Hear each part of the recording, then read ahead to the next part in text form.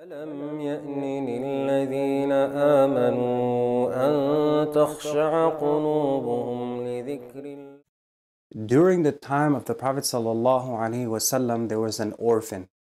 And this orphan boy, he had a garden, and one day he was building a fence, a wall around his garden, so that there would be separation between him and his neighbor.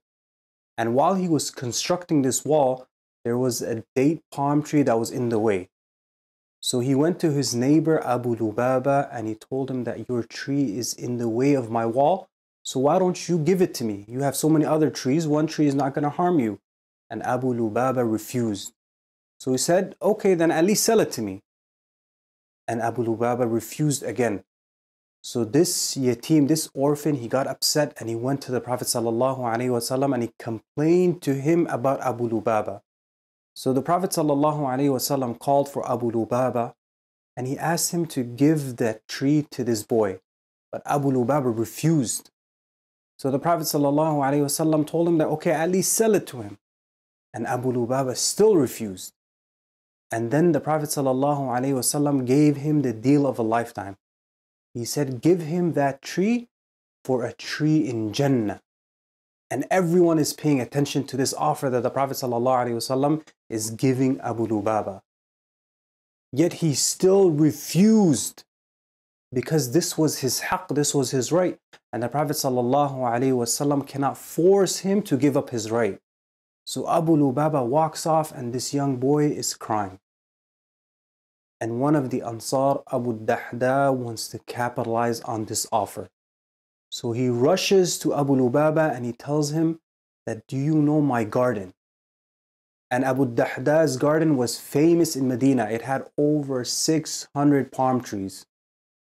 And he told him that I'll give you my entire garden for that one tree. And Abu Lubaba couldn't believe it.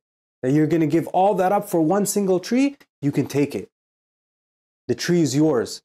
So Abu Dahda went to the Prophet ﷺ and told him that if I were to get that tree, would you give me the same deal? And the Prophet ﷺ said yes. So Abu Dahda said, I have purchased that tree and I give it to this young boy. I give it to this orphan. And the Prophet ﷺ started saying, كَم مِّن عِذْقٍ رَدَّاحٍ لِأَبِي الدَّحْدَى فِي الْجَنَّةِ That how many heavy trees does Abu Dahda have in Jannah? And he kept repeating this. So Abu Dahda, he saw an opportunity and he capitalized on it. And opportunities are all around us. Every second is an opportunity to get closer to Allah. But there are some opportunities that don't come around too often like the month of Ramadan.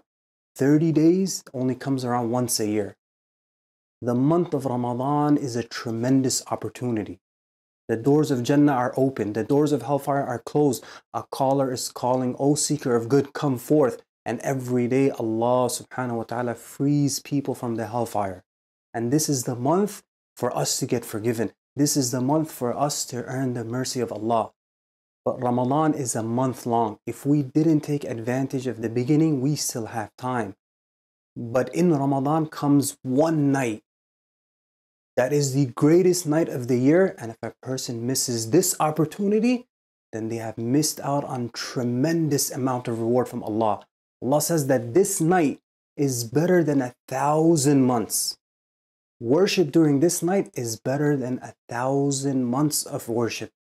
And if we miss it, we can't guarantee that we're going to be around to see another one. So we cannot afford to miss this night. And if we look at the example of the Prophet ﷺ, he used to strive harder during the last 10 nights. He would make the most of these last 10 nights. And he said that whoever stands in prayer during Laylatul Qadr, believing in Allah and only seeking reward from Him alone, then their past sins will all be forgiven. So, following his example, we need to take our worship to another level during these last 10 nights. Sleeping one or two hours less during these 10 nights is not going to harm us.